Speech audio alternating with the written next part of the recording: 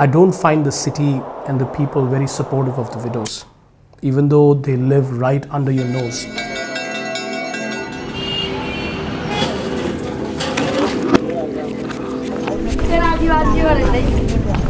I don't see many people coming forward to really help them.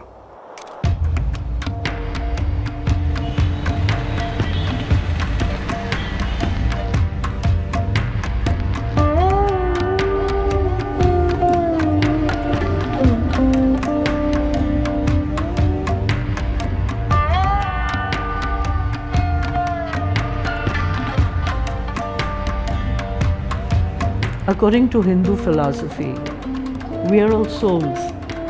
And when you talk about woman or man, if you go a step further, the soul is neither woman or man. So I would want to tell the woman do not limit yourself.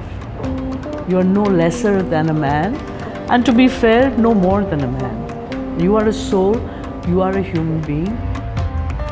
The two things that we're talking about is eradication of poverty through education for children, empowerment of women.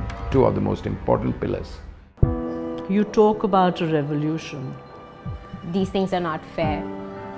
These are not fair. I think there is no women empowerment in our country, which is a massive problem. So the moment you empower women, now this is going to be a new society.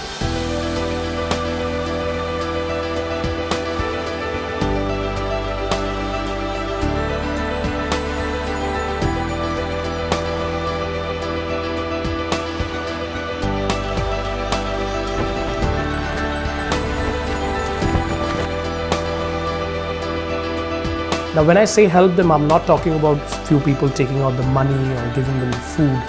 I'm not talking about that. They have more needs. They have needs like being loved. And gradually the mindset will change.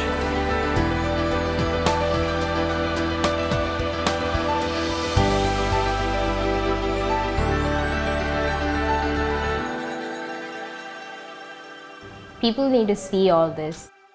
This thing needs to come out.